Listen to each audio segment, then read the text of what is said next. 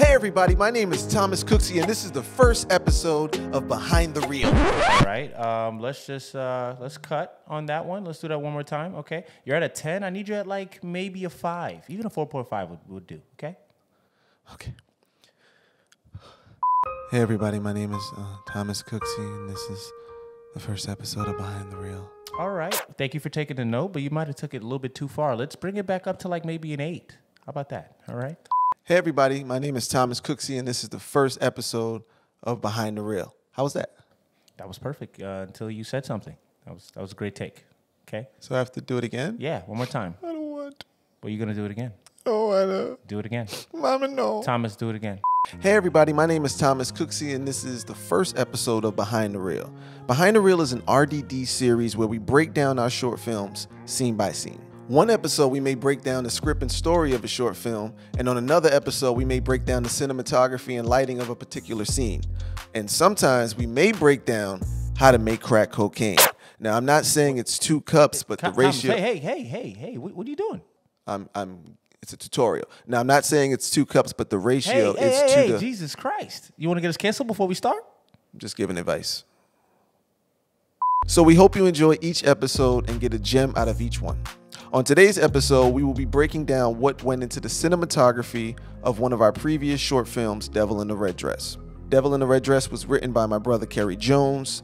It was shot by a great DP named Bradley Credit, and it was directed by myself. If you haven't checked it out yet, please check it out before watching this video to avoid any spoilers. Ladies and gentlemen, welcome to Behind the Reel.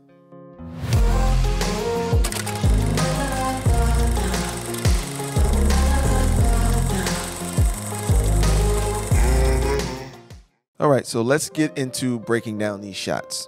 On the first shot, we have the wide shot overhead lighting setup. So in the first shot, we see my brother Kerry Jones here eating dinner, eating a delicious dinner prepared by me uh, with the beautiful Megan Gerard. Now, what we have here is we have a simple overhead lighting setup, tungsten light. Uh, the light we use is the Falcon Eyes, really good light. I suggested if you if you need an affordable light, it's a bicolor light, and we decided to use tungsten because we enjoyed how the tungsten light uh, was reflecting off of the darker skin tones. Uh, so what we did was we we wrapped that tungsten light with a flag. I think it was a flag or it was Duvetine or black wrap. It was one of those.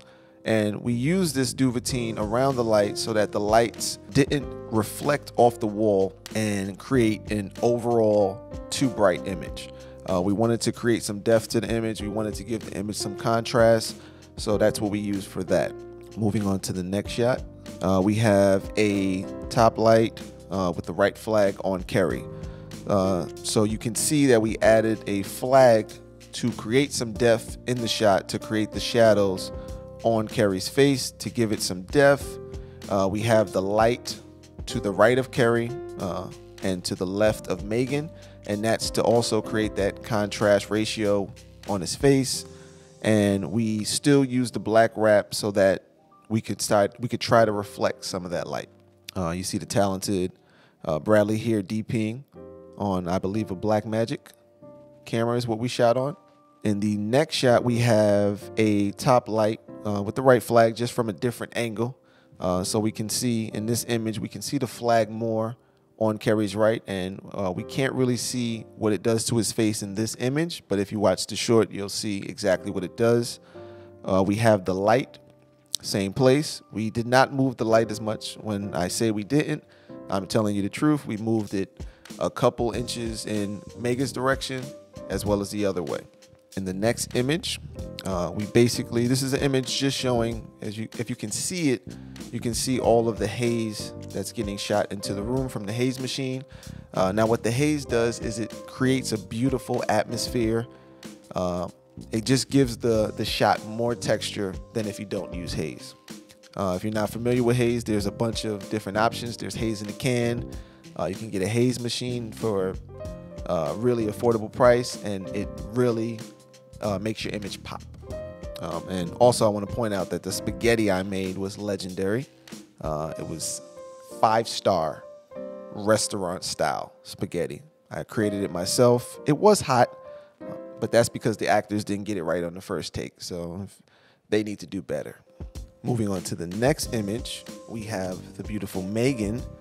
Now, we do have a practical light behind her to give her some depth to make her shot more interesting. And we have that flag to her right as well to create that contrast ratio on her face, uh, which is very important simply because we want to we want to make the shot look interesting. And if she's fully bright it doesn't look good.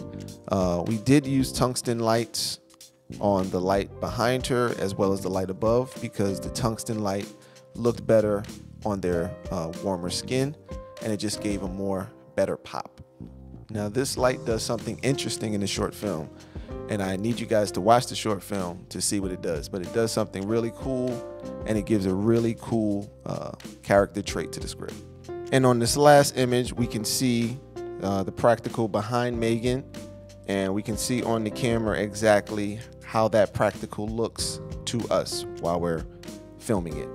Um, it gives a really good layer and it just it just gives more layers to the film. And we always want to create layers because that creates depth in the image and that makes the image more interesting.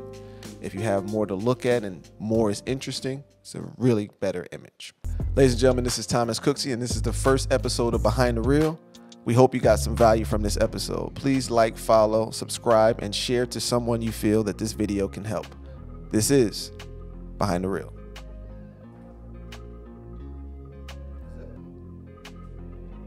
Do we have any uh Outro music? yeah. Uh, boom, behind the reel. Behind the reel. Yeah, da, behind the reel. I quit.